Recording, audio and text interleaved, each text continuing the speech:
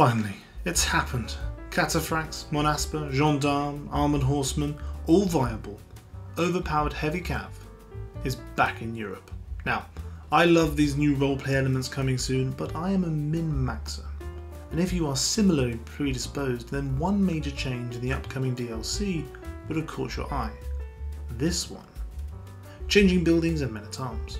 And with that, I want to go through the implications this has in Crusader Kings 3 going forwards for us who love crunching the numbers. Gone are the day of buff stacking through buildings, achieved by maximising your domain through homogeneous terrain and typically investing in a sole regiment type.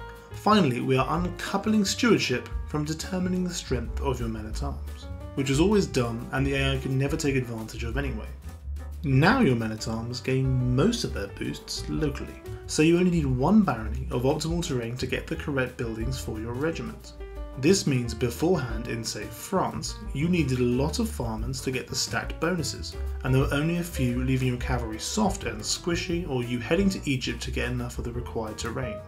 Now you are guaranteed at least some regiments of monstrous gendarmes. So, that's point 1 and 2. Stewardship no longer has any bearing on the brilliance of your men at arms, and OP troops have been democratized, available to anyone, even the lowliest petty single county count.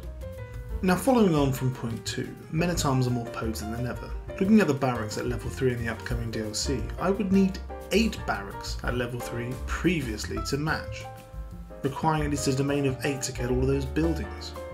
And bear in mind, if I was a single county count, I could get that 60% too, so there's a lot more damage going around than there was ever before. Note, I have a star on this one, as with the new limits on building slots, you may choose to go all in for the money, omitting arm buffs, meaning you're more dependent than ever on your levies and mercenaries. And that brings us to point 4. The bigger they are, the greater they fall. Countering and terrain will be more important. Being lured into the wrong place or against the wrong foe will render your now key troops useless. Or conversely, lure them into a bad fight yourself. So more consideration as to who and where you are fighting.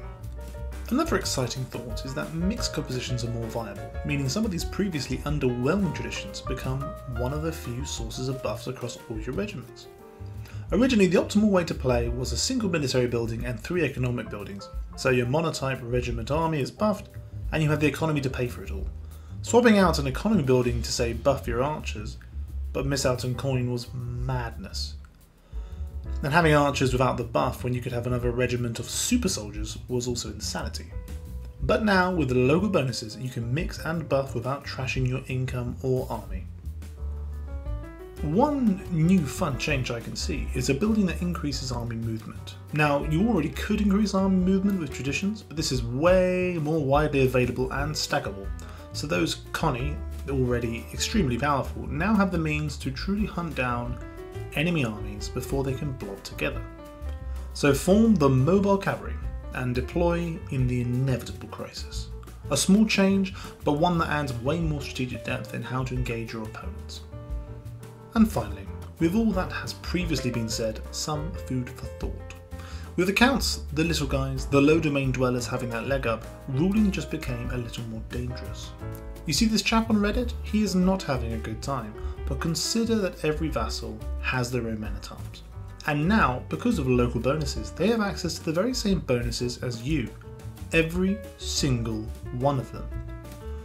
Previously, a revolt may have been an opportunity to clean up house, but now you may feel a very cold sweat. A crisis. Similar to the one in the 3rd century, am I right? And that's it. I am keen to hear your thoughts. Am I right? Am I wrong? Will the AI always be helpless or does it level the playing field? Or will these systematic changes be abused even worse than before? Thank you and goodbye.